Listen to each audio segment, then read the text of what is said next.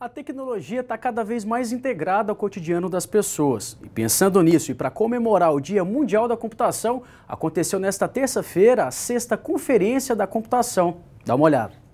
Para a Escola de Ciências Exatas e da Computação da PUC, ontem foi um dia especial. Afinal, foi comemorado o Dia Mundial da Computação.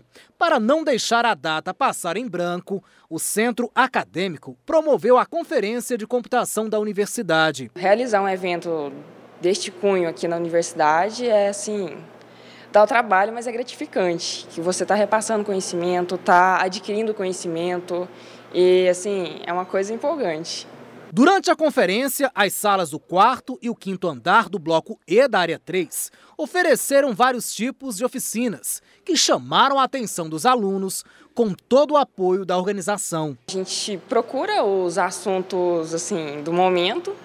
É, houve opiniões de professores, dos coordenadores, de alunos e quando a gente encontra, digamos que aquele tema, a gente vai atrás e tenta organizar. Nesta sala, por exemplo, o Andriev, que está concluindo o curso de análise e desenvolvimento de sistemas, ministrou oficina de programação web, uma das áreas de maior interesse dos acadêmicos. Todo o desenvolvimento web está trabalhando para a integração com o mobile, né? Então, o Angular ele traz toda essa facilidade. É uma das áreas assim que eu vejo mais evolução, mais desenvolvimento e o Angular é uma das principais ferramentas hoje para você estar tá iniciando